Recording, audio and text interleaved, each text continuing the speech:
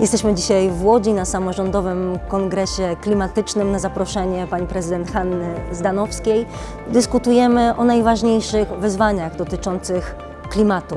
I dla mnie nieprawdopodobnym jest to, żeby polska młodzież ciągle musiała wychodzić na ulice największych miast i domagać się od rządzących, żeby te kwestie traktować priorytetowo. Musimy potraktować zagrożenia płynące z zmian klimatycznych jako najważniejsze.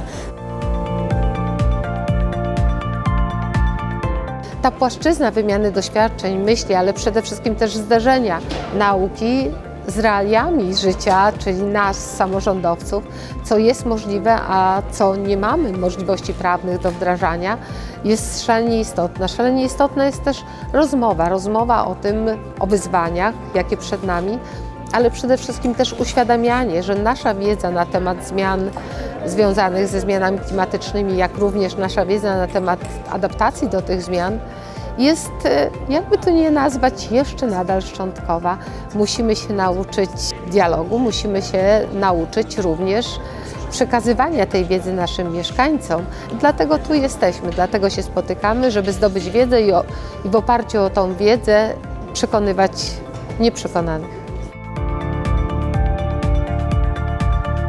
Rola samorządów jest niezbędna. E, przypomnę, że miasta mniejsze, większe zajmują 3% powierzchni lądu, a odpowiadają za 80% konsumpcji energii na świecie. Więc to miasta mają kluczową rolę dla e, rozwiązania problemu kryzysu klimatycznego i to się oczywiście może dziać na bardzo różnych poziomach. W miastach może, nawet powinny powstawać modele energetyki rozproszonej.